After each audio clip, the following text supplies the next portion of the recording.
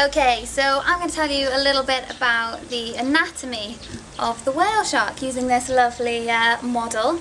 Um, right, okay, so starting first things first. This, of course, is the whole body. Uh, this is the face with the mouth. Um, and whale sharks are, of course, filter feeders, so they often go around like this.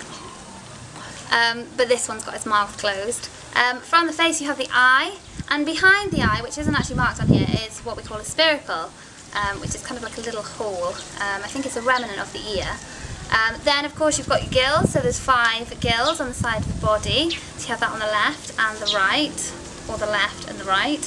Um, also, pectoral fins, these are the guys on the side. Um, this one on the top, which is the famous shark fin, um, is of course the dorsal fin. And the little one, which isn't very clear on this model, is the second dorsal fin. Underneath then, we have the pelvic fins and the anal fins. So I think you can see there the anal fin and the pelvic fin.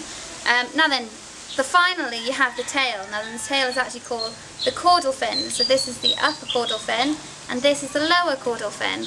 And uh, this, my dears, is the whale shark. Now then if you want to know if it's a male or female, there's a very special way of doing that.